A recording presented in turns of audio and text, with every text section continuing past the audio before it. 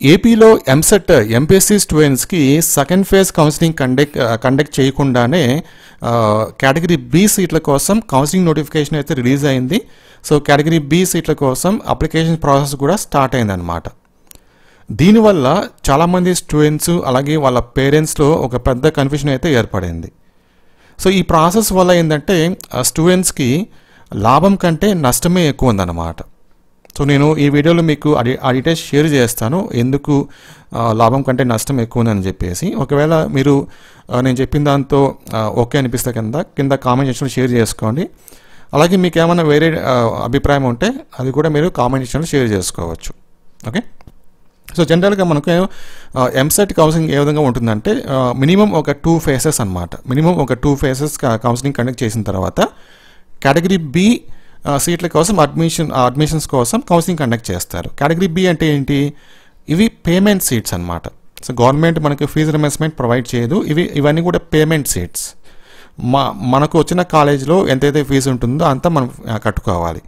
So ఈ category B counselling notification మీకు చూపిస్తాను. సో ఇది వెబ్సైట్ అన్నమాట. ఇక్కడ చూసుకోవచ్చు మీరు.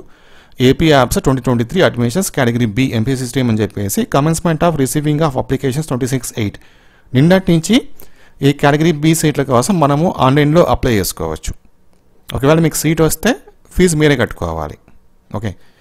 సో ఓవరాల్ పాయింట్ చూస్తే ఇప్పుడు సెకండ్ ఫేజ్ కౌన్సిలింగ్ అనేది కండక్ట్ చేయకుండా కేటగిరీ బి కౌన్సిలింగ్ కండక్ట్ చేయడం వల్ల ఎటువంటి నష్టం ఉంది అని చెప్తే చూస్తే సో స్టూడెంట్స్ స్టూడెంట్స్ ఏం చేస్తారంటే జనరల్గా ఫస్ట్ ఫేజ్లో వచ్చిన సీట్ వాళ్ళకి నచ్చకపోతే నచ్చకపోతే సెకండ్ ఫేజ్ కౌన్సిలింగ్ కోసం వెయిట్ చేస్తారు. సెకండ్ ఫేజ్లో అప్లై చేసుకుంటారు. సెకండ్ ఫేజ్లో కూడా రాకపోతే అప్పుడు వాళ్ళు పేమెంట్ సీట్ కోసం ట్రై చేస్తారనమాట సో మినిమం టూ ఛాన్స్ అయితే వాళ్ళకి వాళ్ళకు ఉంటుంది.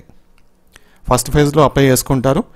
ఒకవేళ మంచి సీట్ వస్తే జాయిన్ అవుతారు. రాకపోతే సెకండ్ ఫేజ్లో వెయిట్ చేస్తారు. సెకండ్ ఫేజ్కి అప్లై చేసుకుంటారు. అక్కడ ఏమైనా మంచి సీట్ వస్తే జాయిన్ అవుతారు. లేకపోతే నెక్స్ట్ ఛాన్స్ వచ్చేసి కేటగిరీ బి సీట్ అనమాట లేదంటే థర్డ్ ఫేజ్ థర్డ్ ఫేజ్ కూడా ఉంటుంది మనకు జనరల్గా ఓకే? ఈ విధంగా. ఇప్పుడు ఫస్ట్ ఫేజ్ కౌన్సిలింగ్ కంప్లీట్ అయిన తర్వాత ఇమీడియట్గా కేటగిరీ బి సీట్ల కౌన్సిలింగ్ కండక్ట్ చేయడం వల్ల స్టూడెంట్స్ ఏంటంటే ఈ కేటగిరీ బి సీట్లకు మనము ట్రై చేసుకోవాలా? లేకపోతే సెకండ్ ఫేజ్కి వెయిట్ చేయాలా? ఒకవేళ సెకండ్ ఫేజ్లో మనకు సీట్ రాకపోతే జనరల్గా రాకపోతే అప్పుడు మొదటికి మోసం వస్తుంది. ఎందుకంటే ఆల్రెడీ మనకు కేటగిరీ బి సీట్లు అయిపోయి ఉంటాయి. సెకండ్ ఫేజ్లో మనకు సీట్ రాదు. ఒకవేళ అనుకుంటే ఎగ్జాంపుల్గా. సో అప్పుడు అప్పుడు మొదటికి మో మోసం వస్తుంది అనమాట ఓకే? సో లేదు మనము కేటగిరీ బి సీట్లకు అప్లై చేసుకుందాము అనుకుంటే ఈ ఫీజు మనమే కట్టుకోవాల్సి వస్తుంది. ఫస్ట్ ఫేజ్ తర్వాత ఈ సెకండ్ ఫేజ్కి మనం అప్లై చేసుకోవాలనుకుంటే ఆ ఫీజు మనమే కట్టుకోవాల్సి వస్తుంది. సో ఎటు ఆ, పోలేని దారిలో ఉన్న స్టూడెంట్స్ అందరూ కూడా. ఫస్ట్ ఫేజ్లో మంచి సీట్ వచ్చింటే ఓకే.